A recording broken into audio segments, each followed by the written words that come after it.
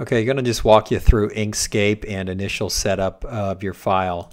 You're going to want to go ahead and import your satellite overlay. This is going to take a little bit of time um, to import. Now, uh, one of the things we'll want to do is set up the dimensions of our page, and we want that to be in millimeters. Uh, that's going to allow us a um, import into Blender, and then when we run a scale routine in Blender, it's going to sort of just essentially translate um, one millimeter uh, to one meter.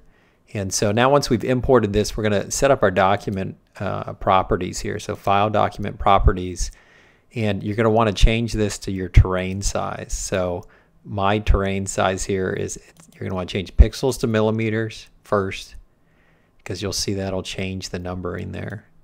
And then you're going to enter uh, whatever your terrain size is. And mine's 1700 by 1700 here. And then you're going to close that. And then you're going to select uh, your satellite and you can't see the document, but the document has changed. It's much smaller here behind this.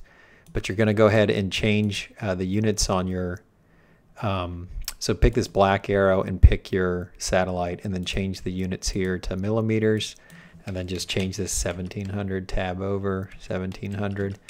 And now if yours doesn't auto line up, the X and the Y just needs to be changed to 0, 0, and now you're all set.